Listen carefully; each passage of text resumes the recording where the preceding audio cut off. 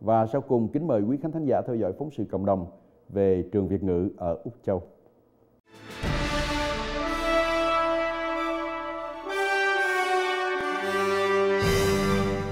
Chúng tôi Nam Hương xin kính chào quý vị khán giả của đài FPTN. Kính thưa quý vị, vào ngày 22 tháng 3 năm 2014, chúng tôi đang có mặt tại trường nữ trung học Benthao.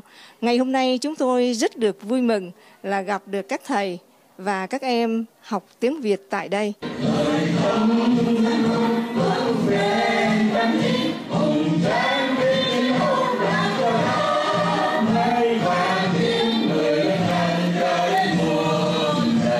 Liên trường Việt ngữ ờ, của Hội Phụ huynh học sinh New South Wales được thành lập vào những năm rất sớm khi mà có người Việt ừ, tị nạn, những người Việt tị nạn đầu tiên ở ở ờ, New South Wales là các anh chị đã nghĩ đến tương lai của con em Việt Nam ở trên nước người. Thành ra từ khoảng năm 1978 79 đã có những cái lớp nhỏ mặc dù chưa có quy mô nhưng có những cái lớp nhỏ do một số anh chị à, em thiện nguyện cuối tuần à, tập trung các em lại một nhà của một anh chị nào đó rồi dạy rồi sau này khi, khi mà cái số học sinh nó đông họ mới nghĩ đến chuyện mượn các cơ sở uh, trường chánh mạch của úc để mà dạy cho các em. Và từ năm 1980 trở đi hội liên trường Việt ngữ hội phụ huynh học sinh New South Wales chính thức thành lập. Từ cơ sở ban đầu là ở cái vùng Madridville sau này chúng tôi phát triển được thêm năm chi nhánh khác là hiện giờ là có 6 chi nhánh gồm có ờ, uh, Madridville, uh, ờ, Bensau, Boneric, Capramata, Capramata West và Fairvale. À, về cái sinh hoạt á, thì mỗi một ừ, tuần các em học vào ngày thứ bảy từ 1 giờ rưỡi đến 4 giờ rưỡi. Có trường thì 1 giờ đến 4 giờ nhưng mà tự trung là 3 tiếng đồng hồ. À, về cái uh, sinh hoạt á, thì chúng tôi in sách cho các em, phát đồng phục cho các em.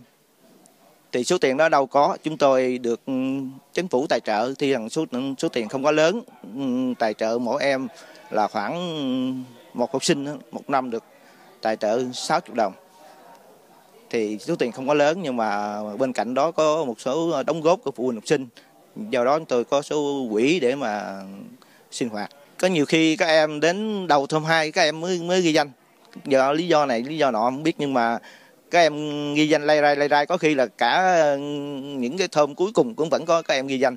Nhưng mà cho đến bây giờ thì trên 800 có thể là chúc con, các con có thể làm bạn và gặp với những người bạn cùng lứa để các con trao đổi và trao đổi những kinh nghiệm về cuộc sống cũng như là trao đổi những những điều mà chúng con mong muốn tương lai. Tại vì ở xã hội um, ở xã hội mình thì có rất là nhiều người Việt cho nên con phải học um, tiếng Việt để khi mà con lớn lên á, thì con có thể giao tiếp với những người Việt. Chúng tôi muốn giúp cho các em giữ vững cái văn hóa ngôn ngữ của người Việt và để các em chính là thế hệ tương lai của Việt Nam sau này. Có như vậy, có liên hệ tới cội nguồn thì các em sau này mới có thể trở về phục vụ quê hương đất nước khi có dịp. Cũng có một vài em là nói cho rằng không ờ, môn tiếng Việt không quan trọng. Nhưng mà chúng tôi cũng đã cố gắng giải thích để các em thấy rằng nó có một cái ích lợi lâu dài sau này cho các em cho nên là ờ, với sự hợp tác của phụ huynh thì các em cũng cố gắng đến trường khá đông đủ. Nam Hương tường trình từ Sydney xin kính chào quý vị khán giả và xin hẹn quý vị vào những phóng sự kỳ sau. Kính thưa quý vị, đến đây chương trình phát hành của bản tin qua tin đồn sẽ được chấm dứt. Cảm ơn quý vị đã theo dõi. Kính chúc quý vị những giờ phút còn lại của ngày hôm nay thật an lành và hạnh phúc. Chúng tôi xin kính chào tạm biệt và hẹn gặp lại quý vị vào kỳ phát hình lần tới.